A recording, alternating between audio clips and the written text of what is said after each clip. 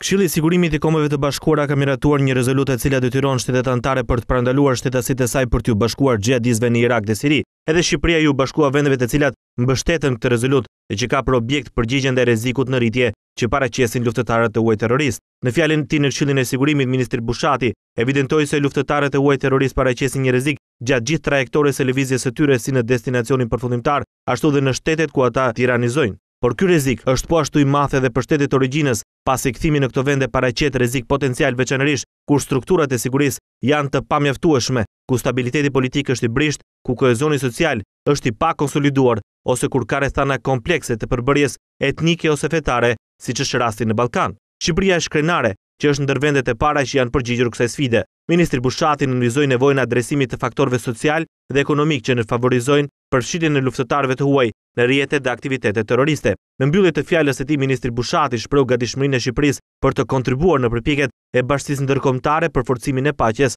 dhe stabilitetit. Pas miratimit të rezolutës presidenti Obama kërkoi që nga fjalët të kalojë në vepra. Ai tha se një retorikë qoftë me qëllimet më të mira, nuk mund të ndalë as edhe një sulm të vetëm terrorist. Draft rezoluta amerikane u miratua në mënyrë unanime. SHBA dhe vendet arabe janë duke bombarduar Shtetin Islamik të Irakut në Siri, në shenjestër ka qenë dhe infrastruktura e naftës.